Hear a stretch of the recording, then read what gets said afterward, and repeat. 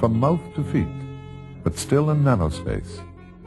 A common gecko climbs a pane of glass with the utmost ease.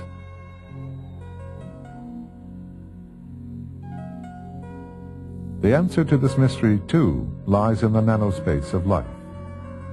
One would expect the animal's toes to be equipped with suction pads, but it has none.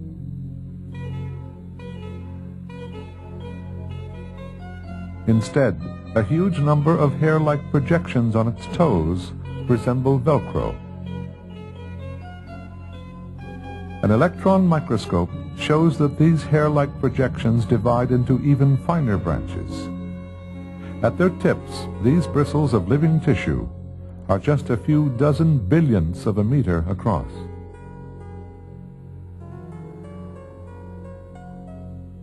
Nanospace, on an animal's foot.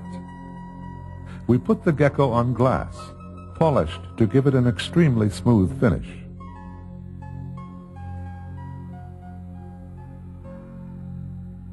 On this glass, even a gecko slides down. We compared this with the gecko's grip on ordinary glass. Ordinary glass on the right looks smooth, but the surface is really a maze of tiny irregularities a few dozen nanometers high.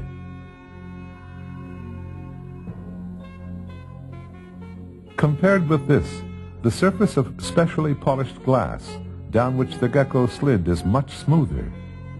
In other words, the gecko's feet have evolved such fine projections that it can grip surfaces with a roughness of just billionths of a meter.